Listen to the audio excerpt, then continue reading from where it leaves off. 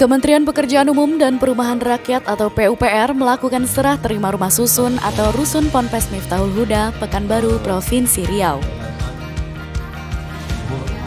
Serah terima pemanfaatan, pengelolaan, dan penghunian rumah susun dilakukan dengan Yayasan Luhur Amal Mulia pada Rabu 12 Februari 2022. Serah terima ditandatangani Kepala Satuan Kerja Penyediaan Perumahan Aldino Heru Priawan dengan Ketua Yayasan Luhur Amal Mulia Irzaldi Ahmad. Ketua Yayasan Luhur Amal Mulia menyampaikan terima kasih kepada pemerintah dan Kementerian PUPR atas bantuan sarana prasarana pendidikan di Kota Pekanbaru.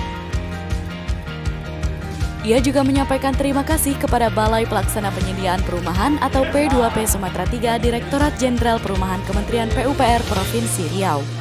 Alhamdulillah kami sangat apresiasi berterima kasih kepada Kementerian PUPR yang telah meluncurkan program-program pembangunan eh, membantu uh, bidang pendidikan yaitu uh, rusun santri, baik itu uh, di pondok pesantren, kampus. Yang ada program ini mendapatkan bantuan satu unit uh, rusun santri ini dan kapasitas lebih kurang 108 uh, santri.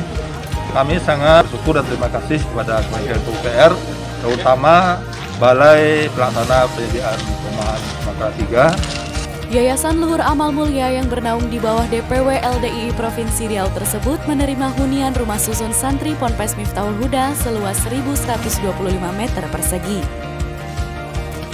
Rusun santri Ponpes Miftahul Huda terdiri dari satu tower, tiga lantai, dan memiliki enam barak yang dilengkapi 64 tempat tidur.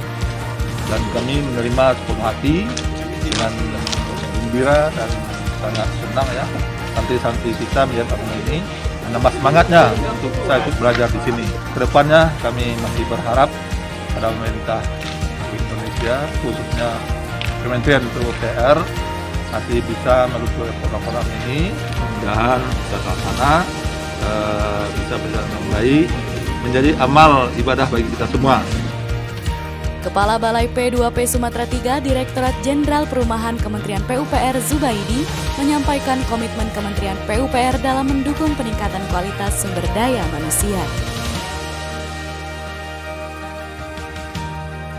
Klik like jika menyukai video ini dan subscribe untuk mendapatkan berita terbaru dari LDI TV. Alhamdulillahi jazakumullahu khairah telah menonton.